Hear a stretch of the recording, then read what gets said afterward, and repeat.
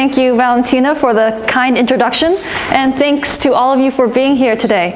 Uh, I must also thank Helmuth and Christof and the RCC staff for the chance to be in residence um, here in Munich. It's been inspiring not only on a scholarly level, but also in terms of becoming a more informed and active global citizen.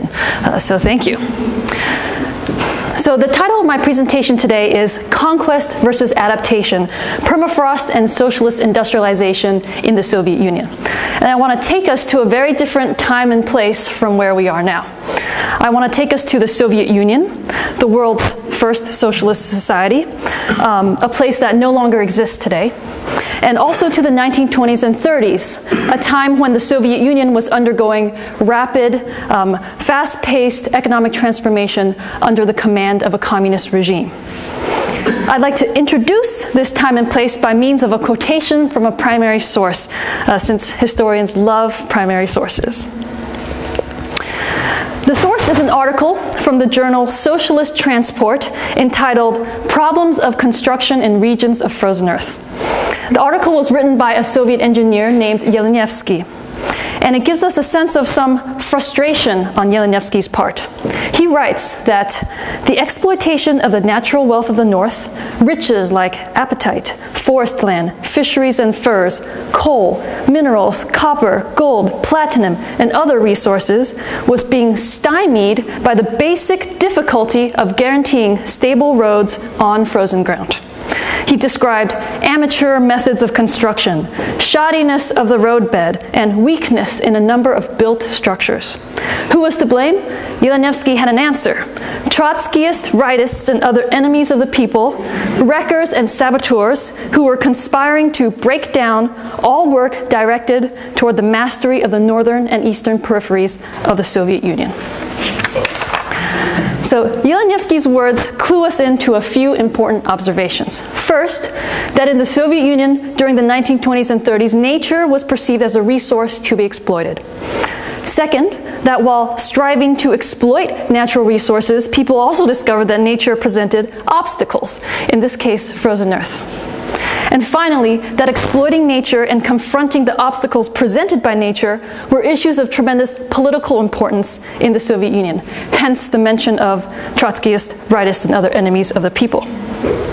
Perceptions, practices, and politics. These elements are essential to the story I want to tell today.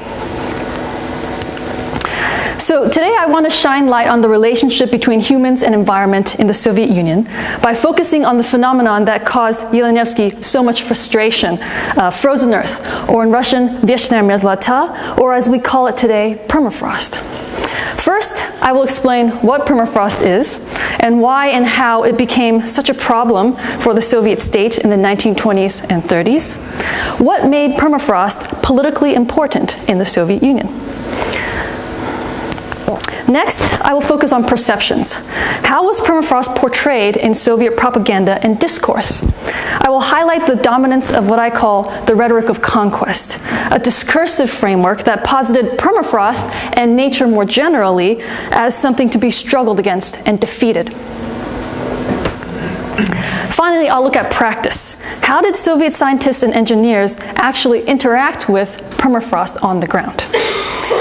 My overall argument here is that even though Soviet propaganda talked the conquest of nature, Soviet scientists and engineers in fact practiced adaptation. Here I'm defining adaptation as the process of accommodating human ambitions to the constraints and opportunities of the non human world. Contrary to the rhetoric of conquest, Soviet scientists and engineers looked for methods to circumvent the problems of permafrost, sometimes by strengthening and actively maintaining permafrost. Why does this story of adaptation and the disconnect between rhetoric and practice matter? Well, the story of adaptation is not the way the environmental history of the Soviet Union has typically been told. The environmental history of the Soviet Union has typically been told as a story of degradation and ecocide. What probably comes to mind are the iconic examples of the shrinking of the Aral Sea and the Chernobyl nuclear disaster. The narrative de- of degradation often traces these negative outcomes back to callous attitudes toward nature held by the Soviet regime. The argument is that the desire to conquer nature promoted ecologically destructive policies that led to environmental degradation. So I'd like to step in and point out that rhetoric and practice were not, in fact, always consistent. I want to push back against an overly monolithic picture of the Soviet Union's environmental history by looking more carefully at specific instances of human interactions with the environment. Hopefully, this can give us a more nuanced perspective. So, my goal is certainly not to defend or exonerate the Soviet regime. Um, rather, I'd like for us to see the Soviet experience as part of a common tragedy and shared conundrum uh, in which we too take part. So, at the end of my talk, I offer some reflections about what the story of permafrost and the Soviet Union suggests about the relationship between humans and environment today. Okay, so let's begin with what is permafrost. Uh, scientists today define permafrost as ground, that is soil or rock and included ice and organic material, that remains at or below zero degrees Celsius for at least two consecutive years. Uh, to use simpler language, permafrost is earth that stays frozen all the time, throughout the year, across the seasons, even during the summer. You might have heard about permafrost in the context of conversations about global warming. Journalists have described permafrost as a methane time bomb. This is because rising global temperatures are causing frozen Earth to thaw. As a result, methane that is currently trapped within permafrost will be emitted into the atmosphere. This will create a positive feedback loop. Um, with additional billions of tons of greenhouse gas in circulation, global warming will be accelerated, leading to further thawing and more releases of methane. And given the potentially devastating consequences of climate change, permafrost has become a global concern in the 21st century. In the 1930s, however, the Soviet state was concerned about permafrost for rather different reasons, not because of global warming, but because of socialist industrialization. The program of socialist industrialization began in 1927 with the first five year plan. Uh, the Soviet regime under Stalin aimed to transform a largely agrarian country into an industrial power. What made industrialization socialist? Well, I'll just remind us of a few relevant things. One, it was carried out in the name of the dictatorship of the proletariat, which was embodied by the Communist Party of the Soviet Union, also known as the Bolshevik Party, which was guided by the ideology of Marxism Leninism and which had a monopoly on power. Two, socialist industrialization happened not through private enterprise, but according to a planned economy organized by the state. Um, and the state set the state set production quotas for various sectors of the economy, time frames for achieving these quotas, and prices for their products. Finally, socialist industrialization emphasized heavy industry and not consumer goods. Resources were purposefully funneled into steel, chemicals, machines, and infrastructure, and not socks and spoons, for example. so, Socialist industrialization was politically important for several reasons. First, it was necessary to build the industrial capacity in order to improve the material foundations of life for people. It was also important to integrate people into socialist society by having them participate in industrialization. Finally, industrialization would enable this new socialist society to defend itself against hostile capitalist encirclement. Uh, as Stalin famously said in 1931, one feature of the history of old Russia was the continual beatings she suffered because of her backwardness. We are 50 or 100 years behind the advanced countries. We must make good this distance in 10 years. Either we do it or we shall be crushed. So industrialization, industrialization was clearly a political priority for the Soviet Soviet regime. Juxtaposed with these grand ambitions was permafrost.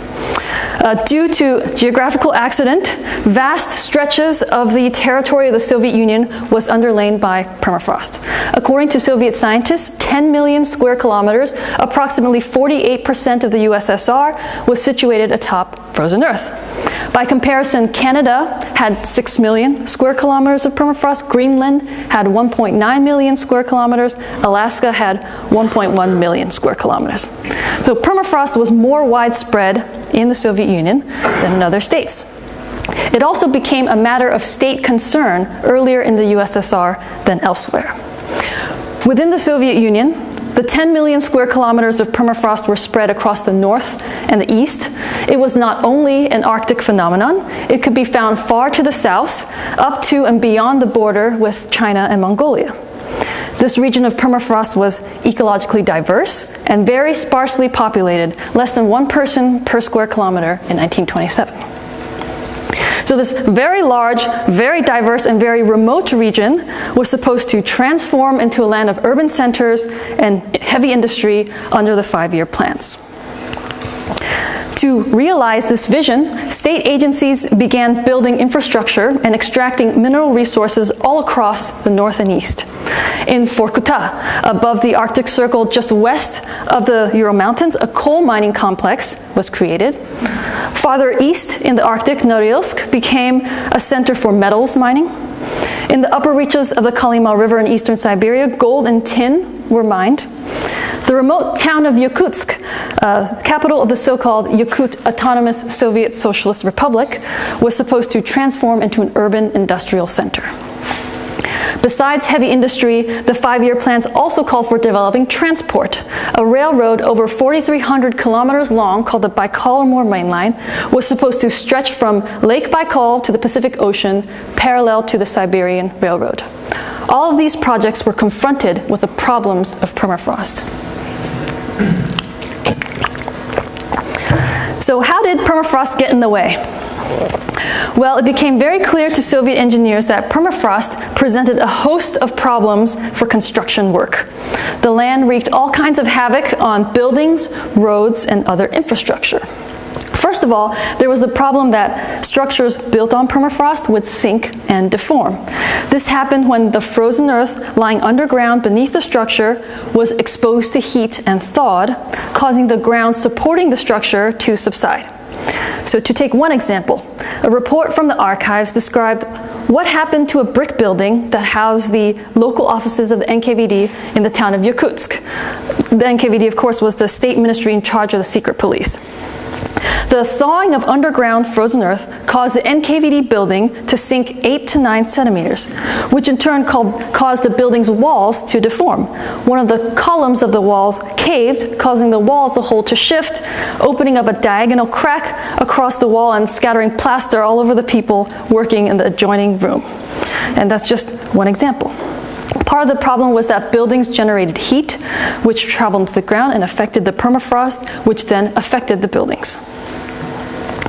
It wasn't just the subsiding of the ground that caused problems, it was also the heaving, or pchenia, of the ground. This referred to the swelling of the ground during the cold months and its subsiding during the warm months. This happened in cold environments even where permafrost was not present. But Soviet engineers found that permafrost made heaving even more extreme and hard to predict. Basically, during the cold months, moisture in the ground froze and expanded. And if the ground was very saturated with water, this expansion could be substantial. The ground bulged and exerted pressure on structures sitting on top of it. This bulging was most extreme wherever a lot of groundwater collected.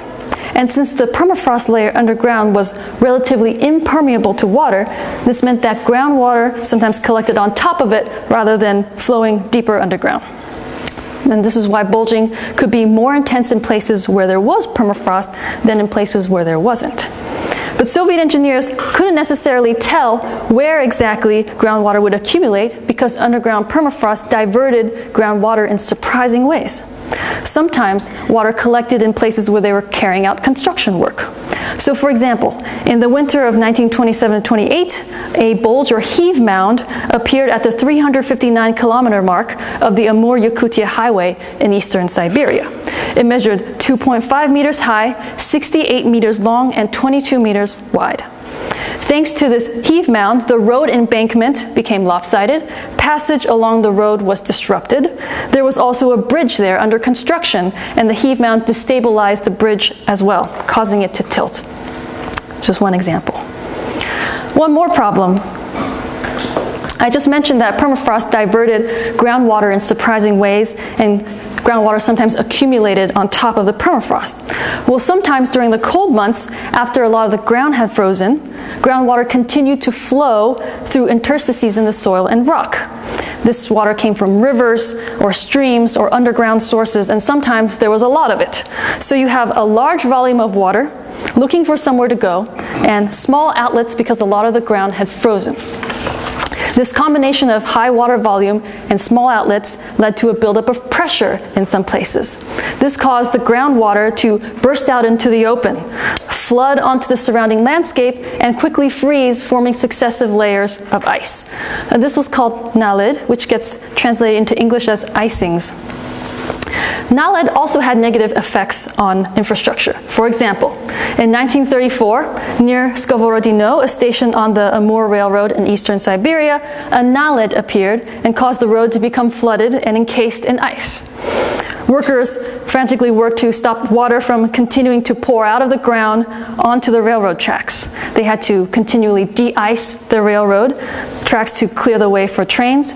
Trains that were sitting on the sidings froze to the tracks. Uh, so that's just one example. So those are some of the reasons why permafrost was a problem for socialist industrialization. Now let's turn to the propaganda. Soviet propaganda portrayed industrialization as a struggle against nature, and nature as something to be conquered. There were ideological reasons for this. The Soviet Union's official ideology, Marxism Leninism, combined elements of Marxist thought with interpretations by Lenin and Stalin. With regard to nature and the environment, Marxism Leninism promoted a few core assumptions. One, that humans were separate from nature, that they were engaged in a struggle with nature and the environment, and that humans could prevail over the obstacles presented by nature. So, from Marx, the Soviets adopted the principle of dialectical materialism, which separated natural history from human history. Um, nature was the base upon which human history took place, human economic activities were a superstructure. A class struggle was the motor of historical progress. So Lenin took Marxism and injected a heavy dose of voluntarism, uh, th that is, belief in the unlimited potential of the human will. Humans could speed up the course of history, for example, by seizing power in a revolution. They could also overcome the obstacles posed by nature. The heroic struggle with nature became a dominant motif in Soviet propaganda during the five year plans the Communist Party called upon citizens to bend nature to their will. This was the rhetoric of conquest. The rhetoric of conquest was also applied to permafrost. For example, in 1938, the USSR Academy of Sciences published a book entitled The Conquest of the North, parentheses, in the region of permafrost. It was written by a scientist named Mikhail Sumgin and a journalist named Boris Demchinsky. The book demonstrates several ways that the rhetoric of conquest was applied to permafrost. First, it shows humans being engaged in a struggle with permafrost. Two, it uses anthropomorphism, portraying permafrost as a live opponent. And three, it endowed permafrost with agency, showing it to be something that was actively thwarting industrialization. For example, Sumgin and Demchinsky wrote in their book that there is hidden wealth in the earth, but permafrost stands as a sentinel, forbidding access to treasures. Thus, a struggle against it has begun. They characterized permafrost as a live enemy, writing that any work on the surface of the earth provokes a reaction on the part of permafrost. They emphasize permafrost's dangerous and dynamic features, warning that nowhere else on the globe is it possible to observe such peculiar and inexplicable violence on the part of water as in the regions of permafrost. So when people ventured into regions with permafrost, they crossed paths with an animate and hostile environment. In keeping with the idea of conquest, Sumgin and Demchinsky talked about how the Soviet Union might get rid of permafrost entirely in order to remove it as an obstacle to industrialization. For example, they calculated that in order to thaw two meters of frozen earth over 10 million square kilometers, it would take 60 billion tons of coal. Or assuming that permafrost layer was 50 meters thick, then eliminating it entirely would require burning 1.5 billion tons of coal every year for a years.